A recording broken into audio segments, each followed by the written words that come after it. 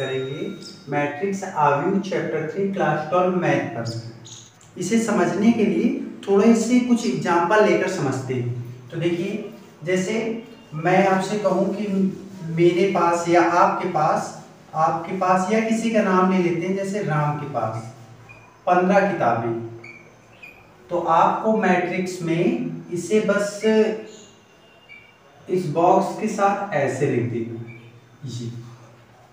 मैं आपसे कहूँ, राम के पास, पंद्रह किताबें और पंद्रह किताबें और दस कापियाँ। तो पंद्रह और दस आप ऐसे लिख सकते हैं। या इसी को आप ऐसे भी लिख सकते हैं, पंद्रह और दस। ये, इसे रो कहते हैं, इसे कालम कहते हैं। और समझते हैं। जैसे तीन फ्रेंड हैं, राम, श्याम और मोहन। इन तीनों के पास क्या क्या देखिए? किताबें। राम, किताबें। किताबें और कॉपी। राम के पास कितनी थी? पंद्रह किताबें और दस कॉपियाँ। श्याम के पास बीस किताबें और पच्चीस कॉपियाँ। इसके पास पाँच किताबें और दस कॉपियाँ। ये इंफॉर्मेशन आपको क्वेश्चन में दी गई है। इसको मैट्रिक्स में लिखना। तो आप कैसे लिखें चाहे तो आप इस फॉर्मेट का यूज़ करें, चाहे इस फॉर्मेट का यूज़ करें। अगर आप इस फॉर्मेट का यूज़ करते हैं तो कैसे हो जाएगा? देखिए, पंद्रह, दस, बीस पच्चीस और पाँच और दस।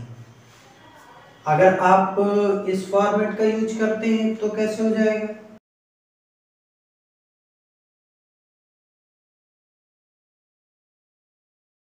पंद्रह, बीस और पाँच। और कॉपियाँ एक तरफ़? दस, पच्चीस और दस। ये ये मैट्रिक्स को लिखने का तरीका है। अब हम लोग जानेंगे कि मैट्रिक्स है क्या। मैट्रिक्स का यूज़ क्या है। सबसे पहले हम एन बाबा से इसके बारे में, इसके यूज़ के बारे में पढ़ते हैं। देखिए चैप्टर के स्टार्टिंग पे इंट्रोडक्शन में दिया हुआ है। रैखिक समीकरणों को, के निकायों को हल करने के लिए संक्षिप्त तथा सरल विधियाँ प्राप्त करने के प्रयास के परिणाम स्वरूप आयु की संकल्पना का विकास हुआ। रैखिक समीकरण जो लीनियर इक्वेशंस होते हैं, उनको सॉल्व करने के लिए तो इसका यूज़ होता ही होता है। और साथ ही साथ आयु को केवल रैखिक समीकरणों को प्रकट करने के लिए ही नहीं, बल्कि अवयवों की उपयोगिता इससे कहीं अधिक भी है। इसमें बताया कि इसकी उपयोगिता और भी अधिक है। कहाँ कहाँ है?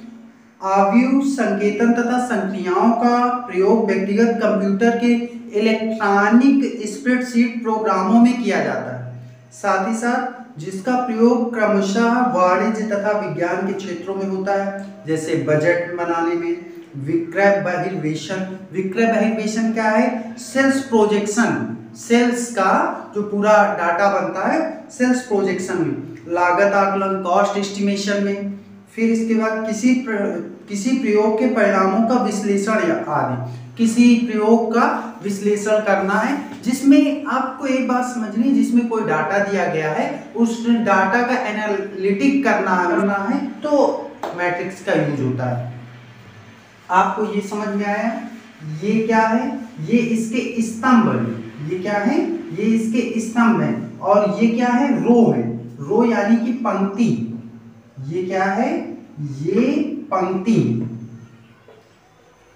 और इसे क्या बोलते हैं हम लोग? स्तंभ बोलते हैं, स्तंभ।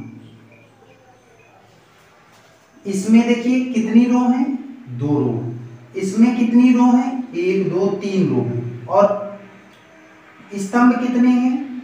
ये, एक, दो। कॉलम कितने हैं? दो। ये आपके कॉलम हुए और ये इसमें रो हुई।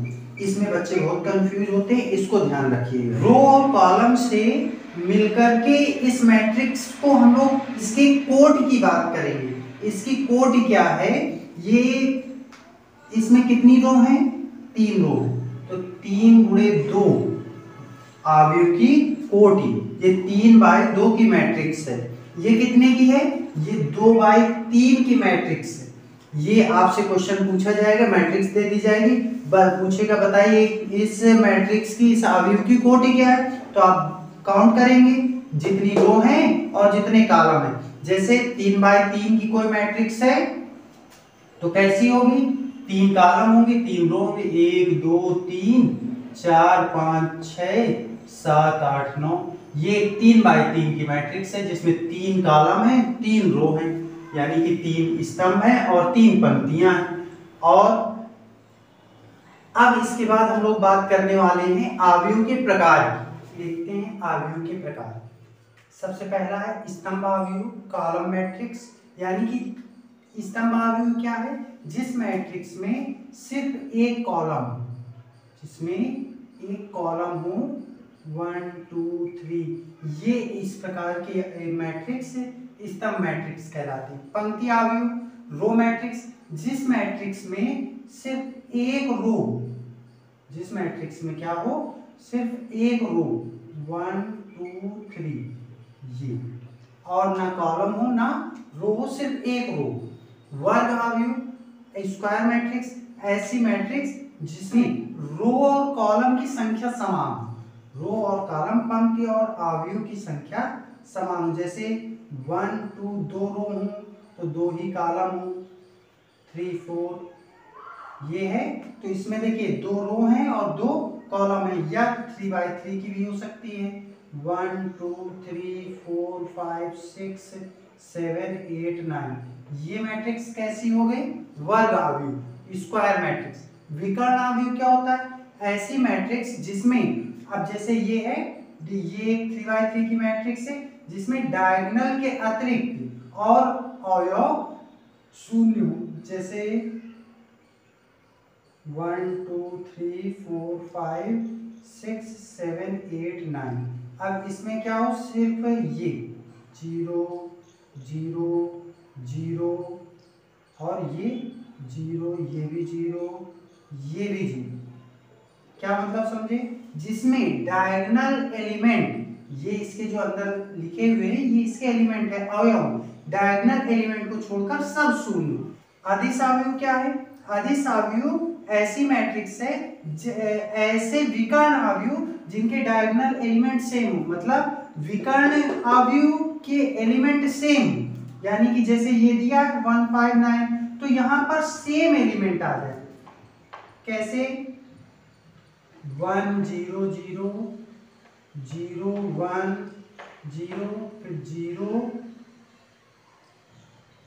ज़ीरो वन यहाँ वन ले लिया मैंने और आप टू भी ले सकते हैं थ्री भी ले सकते हैं फोर भी ले सकते हैं। मतलब कोई भी एलिमेंट हो, लेकिन वो सेम होने चाहिए तीनों। और विकर्ण आव्यूह क्या होता है? जिसमें सिर्फ़ डायगनल एलिमेंट हो, विकर्ण आव्यूह हो डायगोनल में इन तीन प्लेस पर एलिमेंट हो, शेष अदर शून्य ज़ीरो और अधिस अवयव में क्या होता है? ये सेम होने चाहिए डायगनल एलिमेंट तत्समक अवयव यानी कि आइडेंटिटी मैट्रिक्स आइडेंटिटी मैट्रिक्स ऐसी मैट्रिक्स होती है जिसके डायगोनल एलिमेंट डायगोनल एलिमेंट क्या हो? वो एक होना चाहिए। डायगोनल एलिमेंट के प्लेस पर सिर्फ़ एक हो एक है तभी वो तत्समक अवयव होगा। शून्य अवयव ऐसी मैट्रिक्स जिसके सभी एलिमेंट शून्य हो ज़ीरो यदि सभी एलिमेंट में ज़ीरो है तो आपकी शून्य मैट्रिक्स होगी। अवयव की समानता इक्वलिटी ऑफ़ मैट्राइसिस क्या है? यदि कोई matrix A equal to A I J और B equal to B I J है तो ये कब समान होंगी?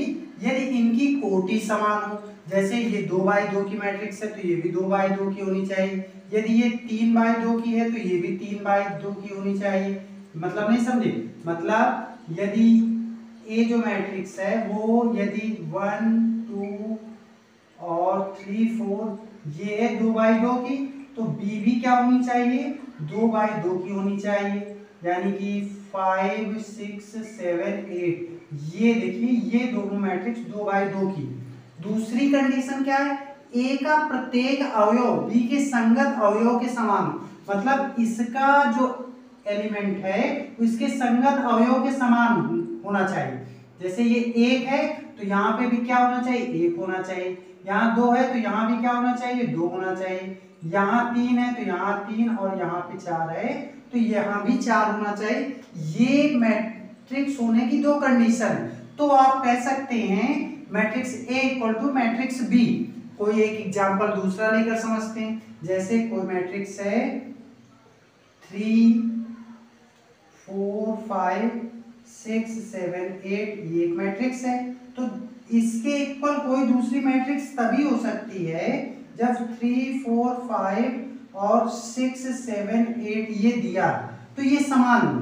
और यदि यहीं पर अगर छह की जगह आठ दे दिया गया और यहाँ पर सात हो गया तो ये मैट्रिक्स समान नहीं होंगी। मैट्रिक्स के समान होने के लिए क्या चाहिए? उसके संगत एलिमेंट इक्वल हो और दोनों सेम कोटि की हो। दोनों समान कोटि की होंगी, तभी वो इक्वल होंगी और दूसरी कंडीशन है कि उनके संगत अवयव बराबर होनी चाहिए। इसे सांकेतिक रूप से इस प्रकार से प्रदर्शित करते हैं। अब हम लोग चलेंगे एक्सरसाइज की क्वेश्चनों पर।